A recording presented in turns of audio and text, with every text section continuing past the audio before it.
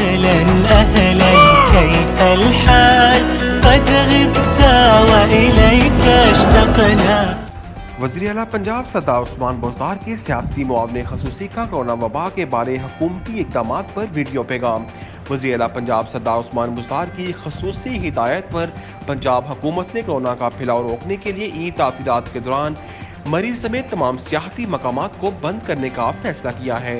मरीज़ और सूबे के दीगर सियाती मकाम पर 8 मई से 16 मई तक बंद रहेंगे और ये फैसला कोरोना की मौजूदा सूरत हाल के तनाजुर में शहरियों की ज़िंदगी के तहफ़ के लिए किया गया। शहरी तातीदात के दौरान घर पर रहने को तरजीह दें। शहरियों से अपील है कि वो मरी या दीगर सियाती मकाम का रुख ना करें। मरी और दीगर सियाती मकाम की तरफ़ जाने वाले रास्ते 16 मई तक बंद रहेंगे कोरोना वबा पर काबू पाने के लिए अगले 15 से 20 दिन नहायत अहम है। शहरी कोरोना पर काबू पाने के लिए हुकूमती कोशिशों का साथ दें और एस पर अमल यकीनी बनाएँ। शहरी ईद की छुट्टियों के दौरान घर पर रहें और गैर ज़रूरी सफ़र से गुरेज करें।